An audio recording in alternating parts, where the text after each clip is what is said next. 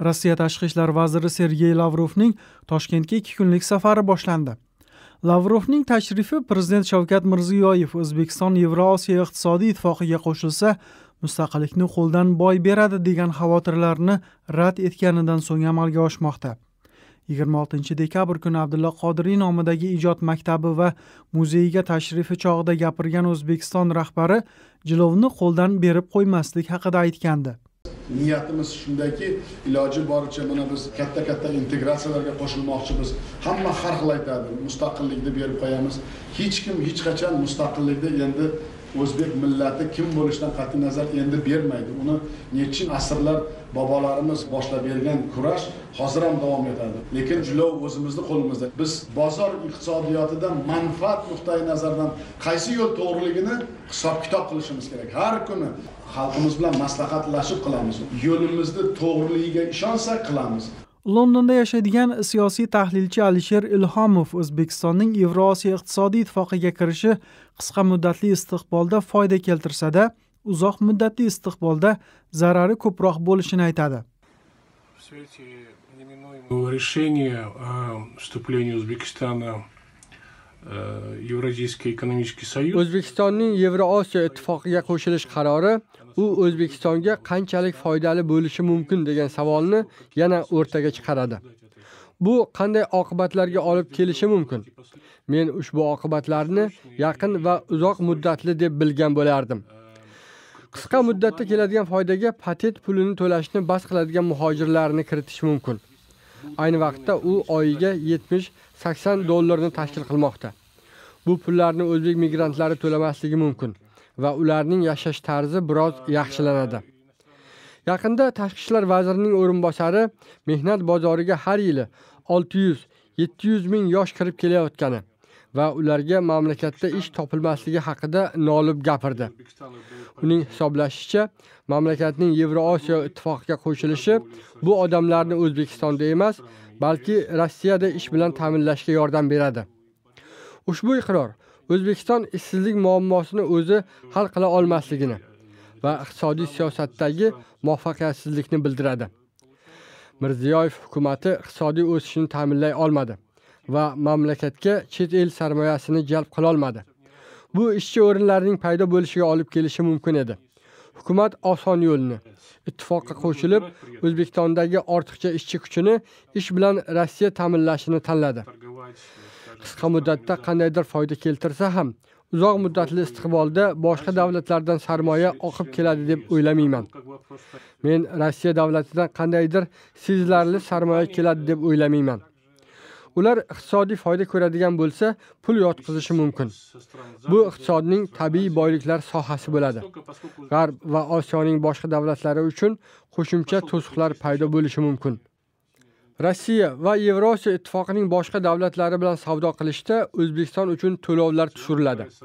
Lekin O'zbekiston, Xitoy, Hindiston, Osiyo davlatlari va G'arb davlatlari kabi boshqalar uchun savdoda cheklovlar joriy qilishiga to'g'ri keladi. O'zbekiston bilan savdo qilishni istagan bu hamkorlar teng bo'lmagan sharoitga tushib qoladilar.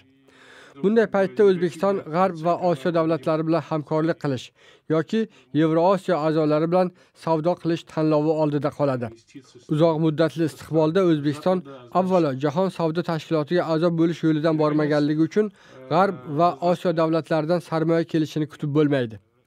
Yaqinda bu borada Amerika hukumati tomonidan salbiy baho berildi. Aftidan bu salbiy baho saqlanib qoladi. va uning manzarasida G'arb hamda Osiyo davlatlaridan yirik sarmoya kelishini kutib bo'lmaydi. Rossiya Federatsiyasining siyosiy ta'siri kuchayadi.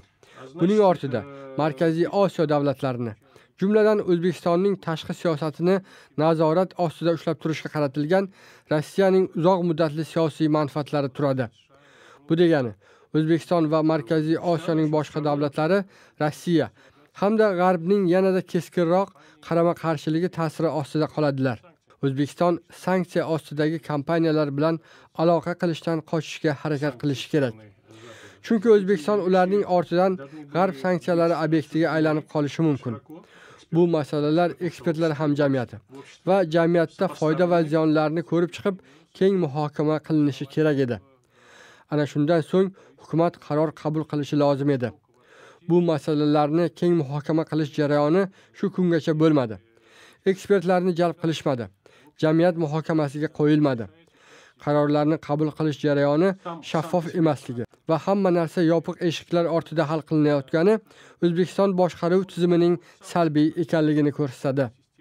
Административную систему Узбекистана, что далеко не будет способствовать как бы доверию к Узбекистану. O'zbekistonda davlat idoralarida ishlagan va ayni damda qozog'istonda yashayotgan iqtisodchi safarboy jubayev o'zbekistonning yevrosiyo iqtisodiy ittifoqiga qo'shilishi ko'p jihatdan manfaatli bo'lishini aytdi. Birinchisi bu e, har bir davlatlar o'zini qo'shni davlatlar bilan birlashib ya'ni integratsiya qilib shu savdo sotiq masalalarini boshqa ham masalalarni e, birgalikda hal qilishi yaxshi bo'ladi. Bu iqtisodga yordam beradi.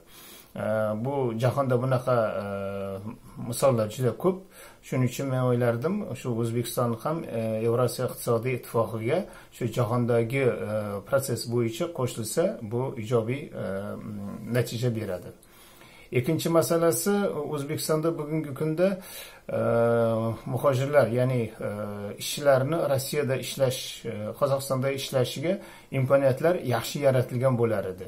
Chunki yevrosiyo iqtisodiy ittifoqi ichida e, odamlarni mm, bir biriga borib ishlash masalasida juda keng imkoniyatlar yaratilgan.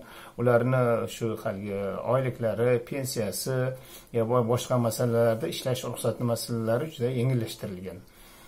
Uchinchi bu e, o'zbekistonga investitsiya kelishga imkoniyat yaratiladi. Nima uchun? Chunki hozirgi kunda agarda o'zbekiston shu yevroziya iqtisodiy ittifoqidan alohida turgan vaqtda ko'p chet ellik investorlar o'zbekistonga kelganda shu o'ndirilgan e, mahsulotlarni qayoqqa sotamiz? E, ya'ni bozor qanaqa deb savol beriladi. Uning uchun shunaqangi bir integratsiyaga kirishgan davlatlarda masalan qozog'istonda o'n sakkiz yarim million aholi bo'lsa lekin yevroziya iqtisodiy ittifoqining bozori ikki yuz million aholiga yaqin shuning uchun qozog'istonga keladigan investitsiya keladida lekin uni bozori keng bo'lgani uchun juda ko'p investitsiyalar kelib ular o'zini samaradorli ishlashiga imkoniyat beradi shuning uchun men ham o'ylayman shu o'zbekistonda investitsiya kelib ko'p ishlar ish e, joylarini ochish zavod fabrikalarni qurish masalasi e, shu masalaga hal qilinishini talab qiladi. Albatta boshqa ham juda ko'p muammolari bor. Masalan bugungi kunda e, o'zbekistonda shu elektr energiyasi va gaz va boshqa muammolar bor. Ularni agarda shu integratsiya yevrosiyo iqtisodiy ittifoqiga kirgan bo'lsa shu masalalarni shu qozog'iston yordamida yo bo'lmasam qirg'iziston yordamida bu masalalarni ham hal qilish mumkin. Rossiyani yordamida masalan gaz gaz masalasini. E, shuning uchun men Э, shu yevrosiyo iqtisodiy ittifoqiga o'zbekistonning э, tezroq э, kirishi masalasini ijobiy deb hisoblagan bo'lardim.